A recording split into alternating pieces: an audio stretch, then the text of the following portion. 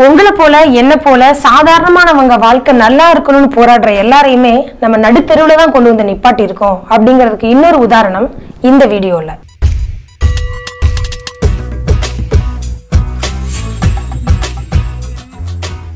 போதைப்பொருள் விற்கிறது சட்டப்படி குற்றம்னா அரசாங்கமே டாஸ்மாக்ல அதை விற்கிறதும் தப்பு தானே நியாயமான கேள்விதானே? உங்களுக்கும் எனக்கும் நியாயமா படுற இந்த கேள்விதான். நீதிமன்ற அவமதிப்பு வழக்காகி ஒரு சமூக போராளியை சிறையில தள்ளியிருக்கு. யார் இந்த சமூக போராளி? நந்தினி. யார் இந்த நந்தினி?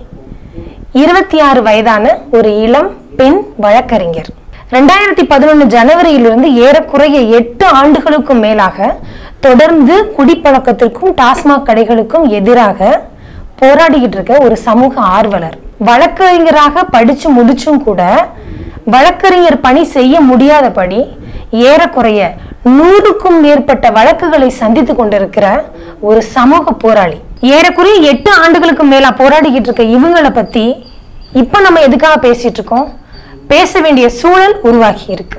ரெண்டாயிரத்தி பதினாலுல தன்னுடைய வழக்கமான குடிக்கு எதிரான போராட்டத்துக்காக திருப்பத்தூர்ல போடப்பட்ட வழக்குக்காக ரெண்டாயிரத்தி பத்தொன்பதாம் ஆண்டு நீதிமன்ற விசாரணைக்கு வந்த பொழுது தன்னுடைய வழக்கமான அதே கேள்வி அதாவது போதைப்பொருள் விற்பது சட்டப்படி குற்றம்னா அது அரசாங்கம் டாஸ்மாக்ல விற்கிறது குற்றம் இல்லையா எனும் தன்னுடைய கேள்விக்காக நீதிமன்ற அவமதிப்பு வழக்குன்னு சொல்லி அவங்களை கைது செஞ்சிருக்காங்க. அதுவும் ஜூலை ஐந்தாம் தேதி திருமணம் நடக்கவிருந்த சூழல்ல ஜூன் இருபத்தி ஆறாம் தேதி கைது செய்யப்பட்டிருக்காங்க. நீதிமன்றங்களுக்கும் நீதிபதிகளுக்கும் தீர்ப்புகளுக்கும் எதிரான எவ்வளவோ மோசமான குற்றச்சாட்டுகளையும் விமர்சனங்களையும் சொன்னவங்க எல்லாரும் இன்னைக்கு பெரிய தலைவர்களாகவும் சமூகத்துல பொறுப்பான இடத்துல இருக்கவங்களாகவும் வலம் வரும்போது தன்னுடைய நியாயமான கேள்விக்காக நீதிமன்ற அவமதிப்பு வழக்குன்னு நந்தினி கைது செய்யப்பட்டிருக்கிறது எந்த விதத்துல நியாயம்? அப்படி அவங்க என்ன தவறு செய்தாங்க?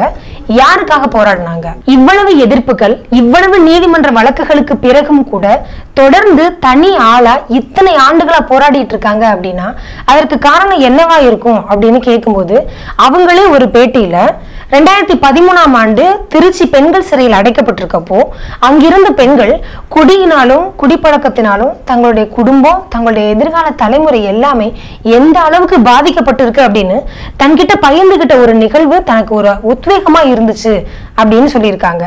இந்த அளவு சாதாரண குடும்பங்களுக்காக யோசிச்சு செயல்பட்டு நமக்காக போராடிக்கிட்டு இருக்க இந்த நந்தினிக்காக நம்ம என்ன செஞ்சிருக்கோம்? குடிச்சு குடிச்சே என் புருஷன் இந்த நிலைமைக்கு வந்துட்டான்னு புலம்புற பொண்ணுங்க எங்க அப்பாவோட குடிப்பழக்கத்தால தான் நாங்க இன்னைக்கு இந்த நிலைமையில இருக்கோம் அப்படின்னு புலம்புற குழந்தைங்க குடிப்பழக்கம் தான் சமூகத்துல நடக்கிற பாதி பிரச்சனைகளுக்கு காரணம்னு கொடி பிடிக்கிற அமைப்புகள் பெரும்பாலும் ஆளுங்கட்சியை குறை சொல்லிக்கிட்டே இருக்க எதிர்கட்சிகள் இப்படி பாதிக்கப்படுற அல்லது பாதிக்கப்பட்டவங்களுக்காக பேச வேண்டிய யாருமே நந்தினிக்காக பேசலையே ஏன்? ஜல்லிக்கட்டு போராட்டத்துல ஒரே ஒரு நாள் கோஷம் போட்டான்ற ஒரே காரணத்துக்காக ஒரு பொண்ணை தலைமையில தூக்கி வச்சு கொண்டாடணுமே எட்டு வருஷமா நமக்காகவும் நம்ம குடும்பங்களுக்காகவும் போராடிட்டு இருக்காளே நந்தினி.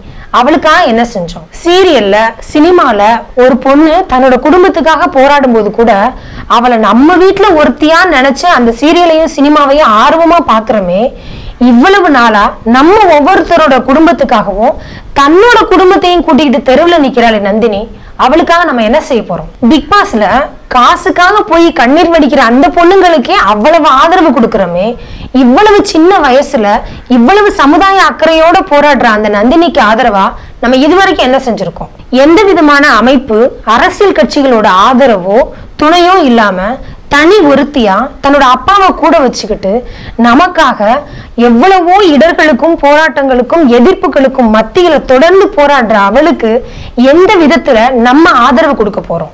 இது வரைக்கும் நம்ம எதுவும் செய்யல. இனிமேல அப்படியே தான் இருந்துட போறோமா?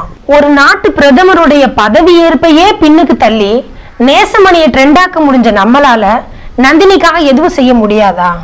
முடியும்.